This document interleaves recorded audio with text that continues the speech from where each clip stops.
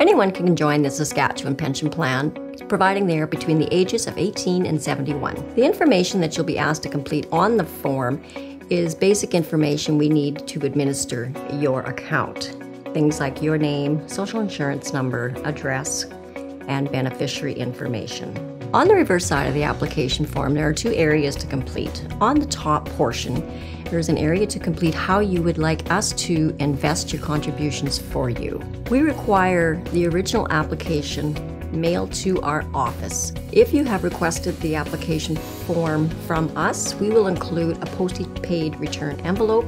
If you download the form from our website, there's also available to you a postage paid address label you can affix to an envelope. Proof of age is a requirement to join the Saskatchewan Pension Plan. A photocopy is fine. It can be a passport, a birth certificate, or a driver's license. There are many different payment options. You can mail a check in with a contribution form. You can visit our website and pay with your credit card online, providing your membership number.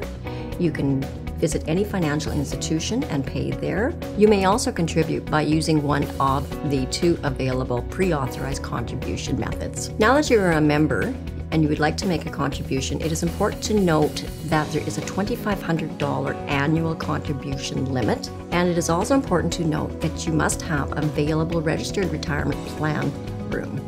After your application is processed, typically within two weeks you'll receive a letter containing your account number.